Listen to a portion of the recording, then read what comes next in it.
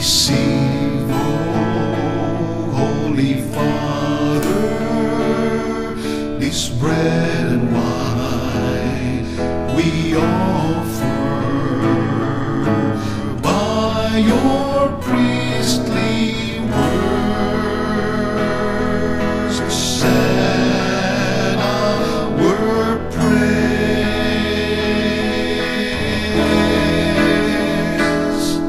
and we